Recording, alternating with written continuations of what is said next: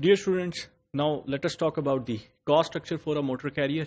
We have talked about different type of motor carriers. हमने उनकी types की बात कर ली, market structure की बात कर ली, terminals की बात कर ली, vehicles की बात कर ली. Now, let us look at the cost structure for them. So high level of variable cost and relatively low fixed costs with higher fixed costs in LTL operations due to terminal systems.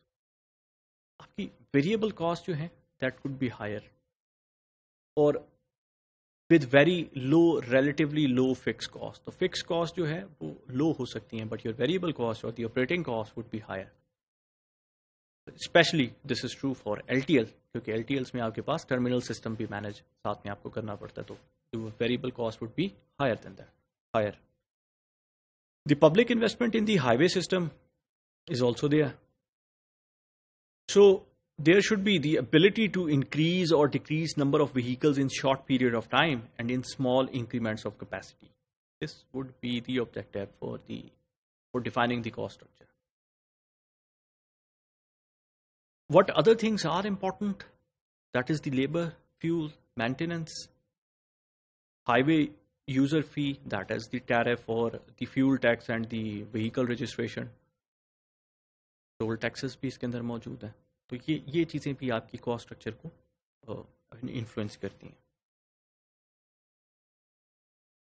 Small scale operation are viable and competitive long run economies of scale को achieve करना is also objective it's not significant in T L motor carriers segment is जो economies of scale हैं long run वो बहुत ज़्यादा significant नहीं है TLs के लिए। वाई इज़ दैट क्योंकि उनकी जो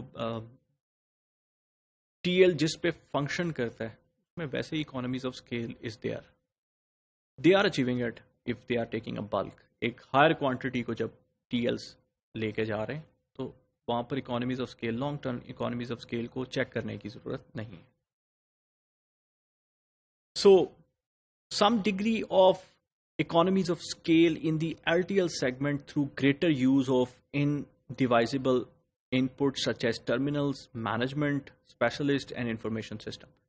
Important किसके लिए LTLs के लिए क्योंकि उसमें आपके पास ज़्यादा बड़ा नेटवर्क होगा ज़्यादा राउटिंग्स होंगे तो टीएल्स को तो इसकी तरफ़ देखने की भी ज़रूरत नहीं है कि what is your economies of scale because they are achieving it more less they are achieving it but for L T Ls it is important why is it important because they have terminals intercity भी हो सकते हैं local भी हो सकते हैं। तो terminals जब आपके पास आ गए ब्रेक पल्क भी हो सकते हैं। रिले टर्मिनल्स भी हो सकते हैं।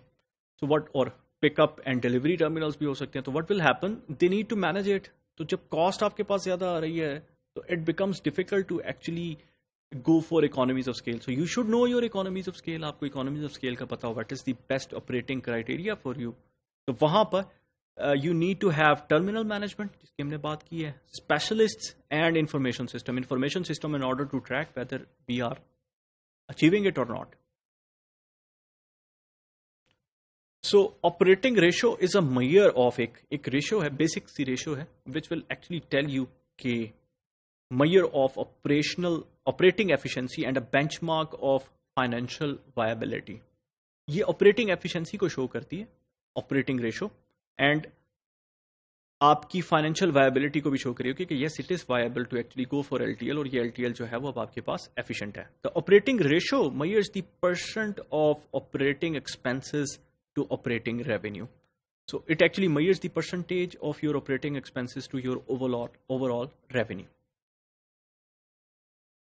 what could that be it would be the operating expenses divided by the operating revenue multiplied by 100. So this will actually show you कि आपके ऑपरेटिंग रेवेन्यू के अगेंस्ट आपकी ऑपरेटिंग एक्सपेंसेस कितने हैं। एक बेंचमार्क है एक रेंज है uh, जो आपके सामने मैं आपसे शेयर कर लेता हूँ। That is for L T L motor carriers it is between 93 and 96 93 percent to 96 percent that means like 7 4 to 7 percent would be actually actual revenue which is above the cost. For T L motor carriers it is low to mid eighties इसका मतलब है उनकी operating expenses would actually be ये कम होंगे आपके पास तभी आपके पास जो है वो, ये वैल्यू कम आ रही है तो it is it lies between eighty percent for T Ls but for LTLs it is between 93 to 96 percent. Thank you.